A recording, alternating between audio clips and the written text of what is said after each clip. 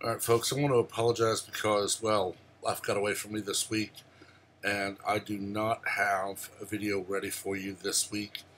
Uh, I will have one next weekend, the 30th, uh, and it will be continuing the series on Revelation. You can see I didn't even bother setting up the green screen. I am sorry for the chaos behind me, but that's why I unfold what you see here, just so that it doesn't detract. Um, again, I am very sorry. I just let things get away from me, let other things distract me, and there is no excuse, but I did.